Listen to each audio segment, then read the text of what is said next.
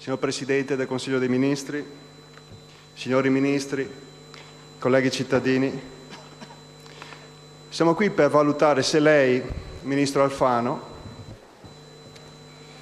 dopo i fatti gravissimi che tutti noi ben conosciamo, abbia ancora la fiducia di quest'Aula, oppure no.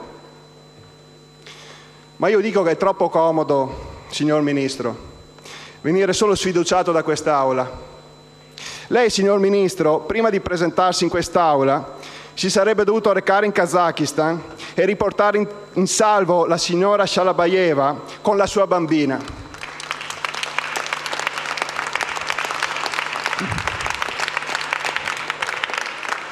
Questo doveva fare, signor Ministro, e poi venire qui a chiedersi la fiducia. Ma mi rivolgo anche a voi, colleghi senatori. Molti di voi hanno già sottoscritto la mozione di sfiducia. Altri valuteranno se farlo al termine di questa discussione guardando alla propria coscienza. Mi rivolgo anche a voi per porvi delle semplici domande. In Senato ci stiamo occupando della terribile condizione della violenza contro le donne. Ci stiamo occupando delle norme contro il femminicidio Abbiamo adottato all'unanimità la Convenzione di Istanbul. Come possiamo sorvolare sull'espulsione di una signora inerme e della sua piccola bimba di sei anni, espulse verso un paese dove sicuramente è a repentaglio la loro incolumità? Ma veramente ritenete che tutto quanto è successo possa essere considerato normale? Veramente ritenete che una sciagurata operazione come questa, che ha visto il coinvolgimento di almeno 50 uomini della Digos, aerei privati prenotati ancora prima della fine dell'udienza del giudice, passaporti autentici scambiati per falsi, anomale procedure d'espulsione, veramente ritenete che tutto questo possa essere avvenuto senza coperture politiche di sorta?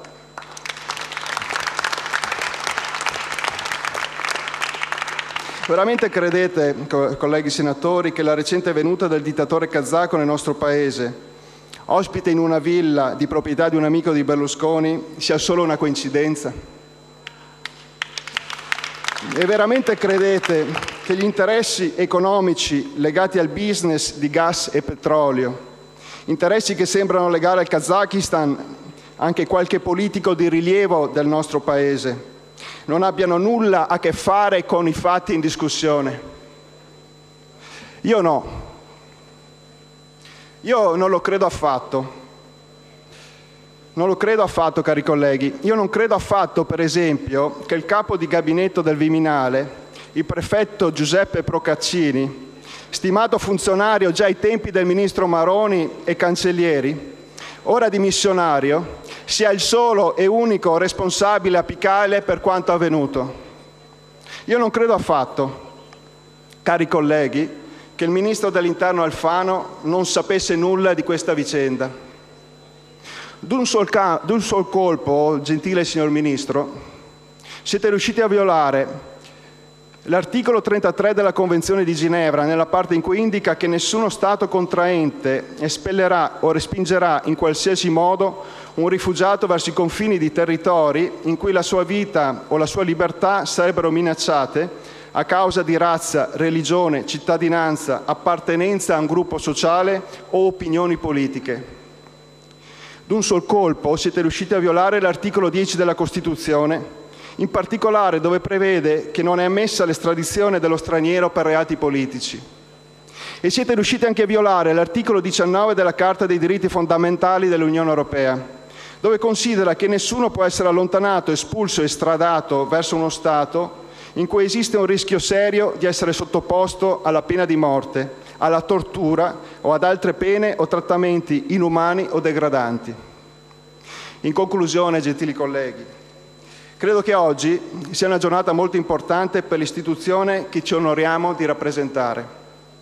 Ci troviamo infatti di fronte ad un bivio.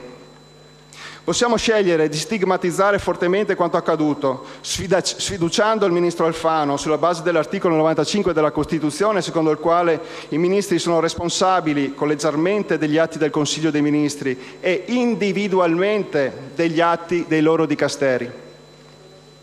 Oppure potremmo fare come le tre scimmiette che non vedono, non sentono e non parlano.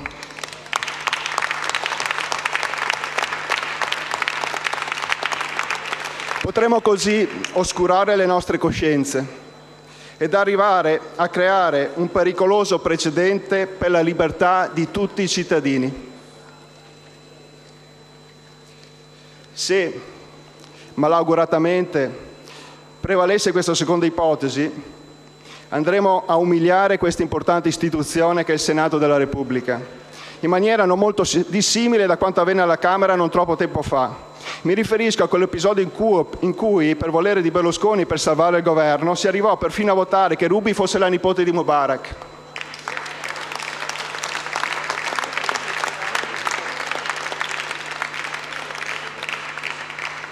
Gentili colleghi, mi rivolgo dunque a voi e finisco. Mi rivolgo alle vostre coscienze perché questa grave umiliazione non abbia più a succedere. Grazie.